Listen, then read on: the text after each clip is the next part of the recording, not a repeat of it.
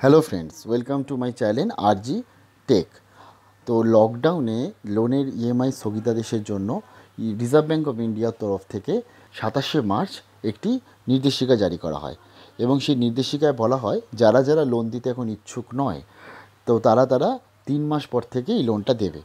এবং এই যে স্থগিতাদেশ বেরোয় এবং এই স্থগিতাদেশ বেরোনোর পর স্থগিতাদেশকে চ্যালেঞ্জ করা হয়েছিল সুপ্রিম কোর্টে পাবলিক ইন্টারেস্ট লিটিগেশন দিয়ে পিআইএল অর্থাৎ জনস্বার্থ মামলা করা হয়েছিল। আজকে সেই জনস্বার্থ মামলার যে সুপ্রিম কোর্ট যে রায় দিয়েছে, সেই নিয়ে আলোচনা করব এবং আলোচনা করব সুপ্রিম কোর্ট নতুন রিজার্ভ ব্যাঙ্কে যে নির্দেশ দিয়েছে, সেটা নিয়েও আজকে আলোচনা করব এই ইএমআই নিয়ে। তো বন্ধুরা, যারা যারা এখনও চ্যানেলটাকে সাবস্ক্রাইব করেনি, তারা দয়া করে সাবস্ক্রাইব করে নেবেন এবং বেল বাটনটা অতি অবশ্যই প্রেস করে নেবেন ও লাইক ও শেয়ারের মাধ্যমে সবার কাছে পৌঁছে দেবেন। তো যেহেতু আমাদের করোনা ভাইরাসের জন্য এখন লকডাউন চলছে, তার জন্য আমরা আর্থিকভাবে এখন পিছিয়ে রয়েছি এবং রিজার্ভ ব্যাঙ্ক অফ ইন্ডিয়া সাতাশে মার্চ আমাদের একটা নোটিফিকেশান জারি করে বলেছিল যে যারা যারা এই ইএমআই দিতে ইচ্ছুক নয়, তারা ইএমআইটা তিন মাস পর থেকে দিতে পারে। এই নিয়ে এবং তার মরিটোরিয়াম পিরিয়ড চালু করে দিয়েছিল এবং মরিটোরিয়ামের একটা অ্যামাউন্ট প্রত্যেকটা কোম্পানিও নিচ্ছিল। তো এটা, এই নিয়ে আমাদের আগে একটা ভিডিও আছে, আপনারা দেখতে চাইলে আপনারা সেই ভিডিওটা আমার ভিডিও লিস্টে পেয়ে যাবেন। কিন্তু আজকে যেটা নিয়ে আলোচনা করছি যে সুপ্রিম কোর্টে এই যে নির্দেশিকা, সেটার চ্যালেঞ্জ করা হয়েছিল। এবং তিনজন জাস্টিস মিলে এই চ্যালে এই পিটিশনটা আজকে দেখেছে। এবং এই পিআইএলের এর এক্সপেক্টে উত্তর দিয়েছে। তো সুপ্রিম কোর্টের মহামান্য বিচারপতিদের মতে যে লকডাউনে এই যে ইএমআই স্থগিতাদেশ হয়েছে, এটা পুরোপুরি রিজার্ভ ব্যাংকের ব্যাপার এবং রিজার্ভ ব্যাংক যেটা করেছে, এটা হচ্ছে জনস্বার্থের কল্যাণে। তো তার জন্য প্রথমে বলি যে এই পিটিশান যে চ্যালেঞ্জ করা হয়েছিল সেটা কিন্তু খারিজ হয়ে গেছে। অর্থাৎ আপনাদের যাদের যাদের আমাদের যেরকম আমাদের তিন মাস স্থগিতাদেশ, সেটা কিন্তু এখনও বহাল আছে। কারণ সুপ্রিম কোর্ট ইএমআই এরম চ্যালেঞ্জের যতগুলো কেস ছিল, সেগুলোকে খারিজ করে দিয়েছে এবং সুপ্রিম কোর্ট বলেছে এটা পিআইএল নয়। জনস্বার্থ মামলা মানে হচ্ছে যেটা জনসাধারণের উদ্দেশ্যে হয়। কিন্তু এটা জনসাধারণের উদ্দেশ্যে নয়। তো যারা মামলা করেছিলেন, তারা আর একটা বলেছে যে মরিটোরিয়ামের এক্সপেক্টে অনেকে অনেক রকমের সুদ নিচ্ছে। এবং অনেকে টাকা এক্সট্রা চার্জ করছে, সেই তিন মাস পর থেকে তাদের আবার দিতেই হবে।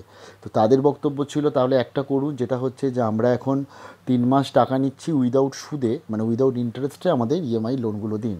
তো সেই ক্ষেত্রে সুপ্রিম কোর্ট রিজার্ভ ব্যাঙ্কে অর্ডার দিয়েছে যে এই রকম যে জিনিস হচ্ছে, এই যে এক্সট্রা সুদ নেওয়া হচ্ছে বা প্রত্যেকটা কোম্পানি এই মরিটোরিয়াম এবং এই যে ইএমআই স্থগিতাদেশ এই আদেশ পালন করছে কিনা, তার জন্য সুপ্রিম কোর্টকে নির্দেশ দিয়েছে। সুপ্রিম কোর্টকে কী নির্দেশ দেওয়া হয়েছে? সুপ্রিম কোর্টকে বলা হয়েছে যে আপনারা দেখবেন যে প্রত্যেকটা কোম্পানি ইভেন একটা কৃষি লোন থেকে শুরু করে পনেরো দিনের এনবিএফসি কোম্পানি থেকে শুরু করে যত কোম্পানি আছে ব্যাংক থেকে শুরু করে সবাই, এরা যাতে এখন কোনো রকমের লোনের প্রেশার না দিতে পারে, এক নম্বর। দ্বিতীয় নম্বর হচ্ছে এরা যে মরিটোরিয়ামটা করছে, সেটা ঠিক করছে কি না বা যে সুদের যে ইন্টারেস্টের টাকাটা নিচ্ছে, সেটা ঠিক নিচ্ছে কি না এই পুরো দায়িত্বটা দিয়েছে রিজার্ভ ব্যাংকের ওপর এবং রিজার্ভ ব্যাংকে এই নির্দেশটা দিয়েছে সুপ্রিম কোর্ট তো বন্ধুরা, এতে আমাদের কি সুবিধা হবে? এতে আমাদের যে মনিটোরিয়ামে ইন্টারেস্ট লাগছে, সেটা সম্বন্ধে রিজার্ভ ব্যাঙ্কই বলে দেখা যাক। সে এবং দ্বিতীয়ত হচ্ছে, এই যে আমাদের তিন মাস যে ইএমআই যে চলছে স্থগিতাদেশ, এটা কিন্তু আমাদের বন্ধুরা চালু রয়েছে। কারণ মহামান্য আদালত কিন্তু এটাকে খারিজ করে দিয়েছে। এবং আমরা জানি যে কিছু কিছু এনবিএফসি কোম্পানি কিছু কিছু ছোট ছোট লোন তারা যেটা করছে, তারা হচ্ছে কি, তারা ইএমআই নিচ্ছে না, কিন্তু এক মাসের ইন্টারেস্টটা কেটে নিচ্ছে। তো সেই ব্যাপারেও বলা হয়েছে আজকে। কারণ যারা অপরপক্ষে ছিলেন, তারা কিন্তু এটাও বলেছে যে এরকমভাবে একটা হঠাৎ ইন্টারেস্ট কেটে নিচ্ছে, একটা বেশি পরিমাণে টাকা কেটে নিচ্ছে। তাতে ধরতে গেলে হচ্ছে যারা পাবলিক তাদের বেশি টাকা দিতে হচ্ছে। তো সেই নিয়ে টোটাল এই যাবতীয় যা জিনিস হচ্ছে এবং এইগুলো নিয়ে রিজার্ভ ব্যাঙ্ককে সুপ্রিম কোর্ট নির্দেশ দিয়েছে যে আপনারা এই পুরো ব্যাপারটা দেখবেন এবং যেখানে যেখানে দেখার মনে হয় যে এই জিনিসগুলোকে বন্ধ করা উচিত, সেটা বন্ধ করার জন্য পুরোপুরি তাদেরকে অনুমতি দিয়েছে।